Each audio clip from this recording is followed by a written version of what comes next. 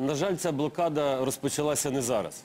І фактично вона була спровокована владою. От давайте згадаємо, коли в кінці 2014 року е, рішеннями уряду заборонялися виплати пенсій і соціальних допомог жителям Донецької і Луганської області.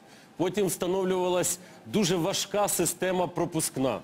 Потім е, не прийнято до сьогоднішнього дня чіткої програми допомоги сотням тисяч переселенців, які живуть по всій Україні. Не прийнято рішення е, Верховною Радою закон про компенсацію за втрачене житло. Тобто фактично влада е, підтримувала цю блокаду і е, тішилась від цього. Але тоді це стосувалося виключно гаманців чи добробуту конкретних родин.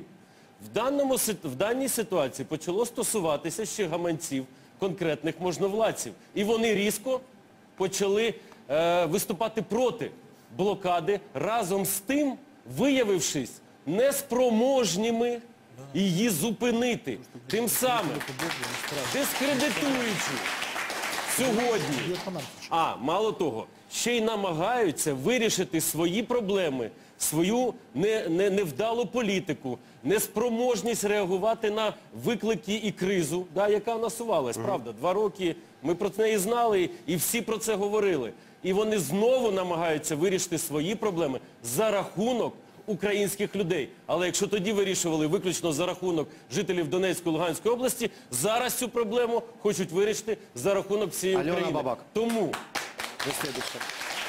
очевидно, що треба блокаду негайно зупиняти, тому що вона б'є і по, знаєте, е, по людях, які там живуть.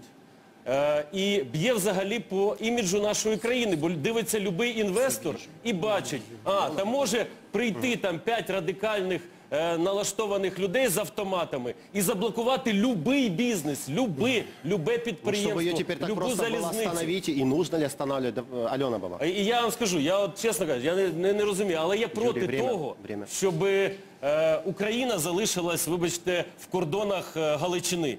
Я за те, щоб Україна збереглася в своїх великих кордонах.